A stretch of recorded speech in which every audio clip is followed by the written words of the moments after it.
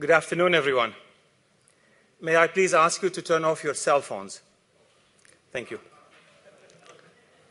My name is Fadi Deek. I'm the Dean of the College of Science and Liberal Arts. On behalf of Provost Gatley and my fellow deans, welcome to the inaugural symposium featuring our newest NJIT faculty. I would like to introduce our president, Dr. Joel Bloom.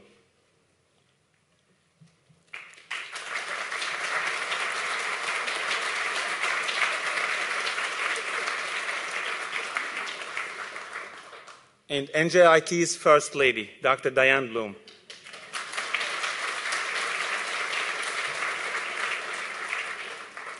Members of our Board of Trustees are present. We would like to welcome them. Stephen De Palma, Chair-elect, Peter Cistaro, and Elizabeth Garcia.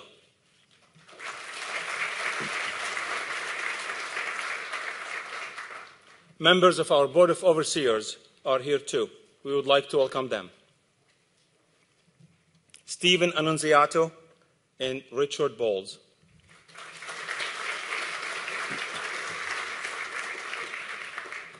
This year, NJIT made an unprecedented investment in building its faculty in support of our interdisciplinary strategic initiative, which focuses on three areas convergent life science and engineering, digital transformation, and sustainable systems.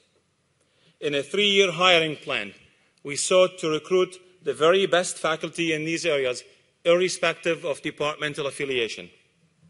The result over 1,000 applicants, of whom more than 100 were very highly qualified for 12 advertised positions.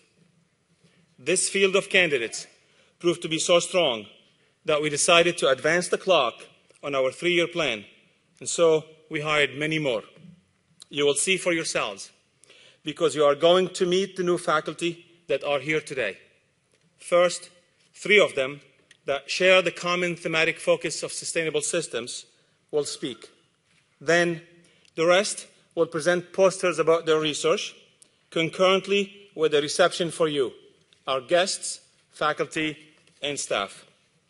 Sustainability has, over the past decade, become an increasingly used word because people are genuinely concerned about the ideas it refers to. It raises the question about how we are going to maintain the conditions necessary for the kind of life we want to continue on this planet in the face of changes largely caused by us to our environment. Most people realize that this challenge is serious enough to invest whatever is needed to understand the damage we've done, the causes of that damage, what we must do to remediate the damage, and the actions necessary to ensure a future of well being for humans and other living organisms. NJIT recognizes the seriousness of this global challenge and is committed to research and education on sustainability. As part of this commitment, the university has brought to our faculty dedicated individuals from many disciplines who can contribute to understanding and solving the problems we face.